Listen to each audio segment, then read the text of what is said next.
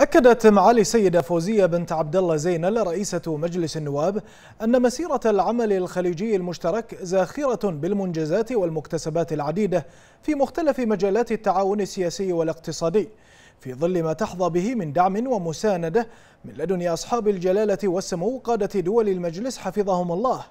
وأشادت معاليها بالحرص الدائم الذي يوليه عاهل البلاد المفدى أيده الله ورعاه في دعم مسيرة العمل الخليجي المشترك تلبية لتطلعات دول المجلس وشعوبها وترسيخا لدعائم الأمن والسلم والاستقرار.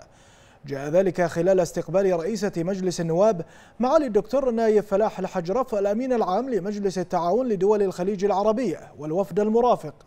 وخلال اللقاء نوهت رئيسة مجلس النواب إلى أن الظروف الراهنة جراء تفشي جائحة كورونا والمتغيرات والمستجدات المختلفة على المستوى الإقليمي والعالمي تعزز من أهمية تضافر الجهود وتوحيد الرؤى والمواقف والتنسيق في وضع الاستراتيجيات والخطط والمبادرات بما يمكن دول المجلس من مواجهة تحدي كورونا والتقليل من تداعياته وآثاره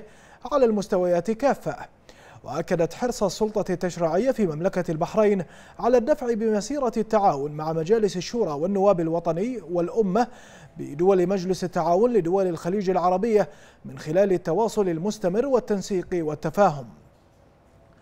من جانبه أشاد معالي الدكتور نايف فلاح الحجرف الأمين العام لمجلس التعاون لدول الخليج العربية بما تحرزه مملكة البحرين من تقدم تنموي مضطرد وما حققته من إنجازات متميزة في التصدي لجائحة كورونا من خلال تطبيق أفضل الإجراءات الصحية والوقائية والتي كان لها أثرها البالغ